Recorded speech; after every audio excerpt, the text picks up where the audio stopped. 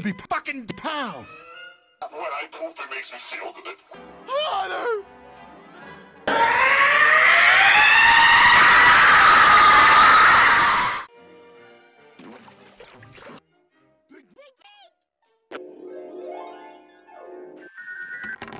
What is the only cryptocurrency that you should invest?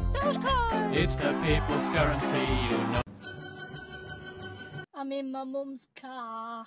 Hey fellas, you boys like Shrek Goof! Uh, what's up, Ren? Damn, son, where'd you find this?